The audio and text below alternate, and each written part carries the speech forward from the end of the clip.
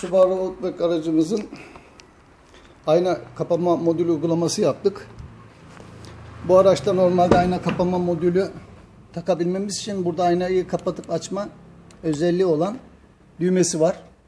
Genelde insanlar benden uzaktan kumandayla modül istiyorlar ama aracınızda içeriden düğmeyle kapanıyor mu diye sorduğumda yok diyorlar. E, Dolayısıyla ona ben kapılar kilitlendiğinde kumandayla kapanan modül takamam maalesef. Evet. Kilitlediğimiz zaman kapıları kendini kapattı. Kapıları açtığımızda araca girip kontağı açtığımızda bu araç bu şekilde çalışır. Kontağı açtığımızda kendini açar. Evet. Yine arabanın içindeki e, bu kontrol düğmesini e, kullanabilirsiniz. Onun e, çalışmasına bir mahsur yok bizim yaptığımız bu uygulamanın. Tamamen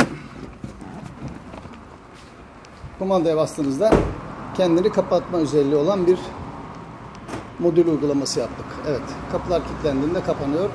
Kapıları açtığınızda, kontağı açtığınızda bu aynalarımız kendini otomatik açar.